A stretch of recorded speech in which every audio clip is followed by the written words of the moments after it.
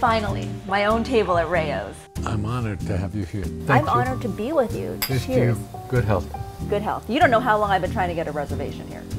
I'm gonna get you in here. Oh, You- Frank, you're such yes. a nice person. I- I'm gonna get you in here.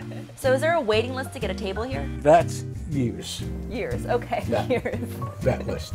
But tell me about the policy here when it comes to reservations. There is really no policy anymore. About 35 years ago, Mimi Sheraton from the New York Times gave us three stars, 1977. And the phone started ringing off the hook. And I thought, this will end a couple of days of this and that'll be all over. They'll forget all about it. Well, they didn't. That's when I started assigning tables. I figured out the only way I could protect those who were loyal to us and had been our good customers and our friends was by giving them tables. And ultimately, every single table, every night is spoken for. Every table, every night has been booked since 1977. So that's 36 That's years. Every table, every night. Is there anyone who's had their table for 36 years? Oh yeah, there are a number of people. I don't want to mention names, No, but no, of course not. believe me that many of them at 30, 35 years at least, they've been my customer. No one will give up their table. Well, I can see why. Okay, and in fact, there are nights when I would like to do someone a favor because perhaps in some way I'm obligated. I have to call up my customers and ask them if I could have their table. And sometimes I can't get it. They'll say, I can't, Frankie, I've got my, you know, my mother-in-law coming from here, I got someone flying in from California, and, and I, I, I have to have the table. And it's Frankie no. and, and I can't get a table. So, trust me, that's the truth. That's when you know a reservation is hard to get, when the owner can't get When the owner can't, you know exactly right. exactly. Here comes the food. Well, what'd you bring, Dino? We have the social crabs that Good. we did with Michelle in the kitchen. Then we have the roasted peppers with the raisins and pinoli's. All right. Enjoy. Thank That's you, for Dino. starters. Perfect. Aside from being a very famous restaurant owner, you're also an actor. Oh. yes. uh, I've been doing that a long time. I started out in life as a professional singer, Okay. And I sang for 15 years. Oh, that's a long time. I figured if I could spend 15 years singing professionally, get up in front of a couple of thousand people at a time, well, I could do this. To me, it was just another facet of show business. You're still a performer. But exactly. And so, lo and behold, I started auditioning and I started landing parts. And it's been actually a very, very successful career. So I've been very fortunate with the acting. And, and you've been uh, very busy apparently yeah, because you I- got a lot of stuff going on. nicely, and I, and, and I had the honor of uh, uh, working for Scorsese. I had the honor of working for Woody Allen. I was the FBI bureau chief in uh, The Sopranos. So, The Sopranos. you know, I've had some good work with some good people, and it's been good. Let's see what happens. We have penne marinara. We have the meatballs that Michelle oh. helped us make. Michelle's meatballs. Michelle's meatballs. They're beautiful. We'll be making them next week on Monday when you come to work. All right, so what are we eating? The lemon chicken is famous, and it's a double broiled chicken.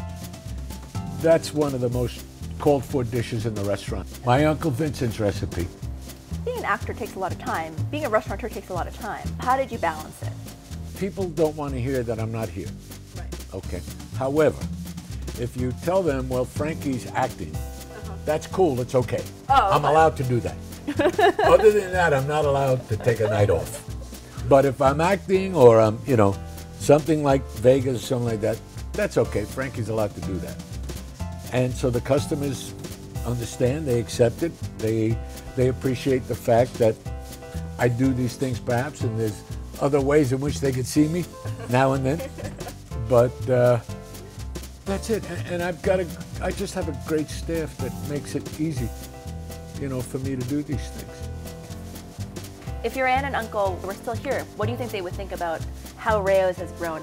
I think, like myself, they'd find it hard to believe.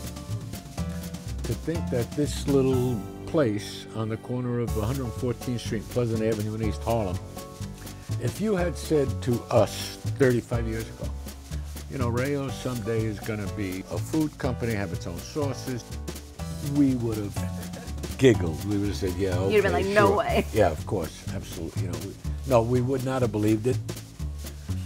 I still have trouble comprehending what has happened. In 2006, Rao's opened in Las Vegas at Caesar's Palace. If you go to Las Vegas, you'll see we designed the restaurant. It looks just like this, much, much bigger. The walls, the, the pictures, the tin ceiling, the Christmas decorations, the whole thing is the same. Recently, they also opened their third location in Hollywood. LA that we just did is twice the size of this. You would think you're here. Both have replica rooms of the original Rao's here in New York. What about the food? Food is the same and everywhere? the food is the same. We really work at our heritage, at who we really are, what we really are. That's the legacy. And I know my aunt and uncle would feel the same way. They would find it hard to believe that this has become what it has become. You can also get a taste of Rao's with their premium pasta sauces and cookbook products. Frankie, I really feel like everything you said resonates with me because I feel like I'm at home, I feel like I'm transported to a different time, and the food is phenomenal. Well, thank you very much. Thank I you for appreciate having that. me. And it's an honor for me to have you here. Thank you. And I will get you and your husband in here. Trust me. Okay. You heard it, guys. If you're lucky enough to get a reservation here, we want to hear about it. But if not, keep in mind they have other locations in Las Vegas and Los Angeles, so check those out. We'll be back next time on Famous Foodies. For the Rao's famous meatball recipe, go to famousfoodies.com. Make sure to follow us on social media at Famous Foodies for all the latest exclusive content.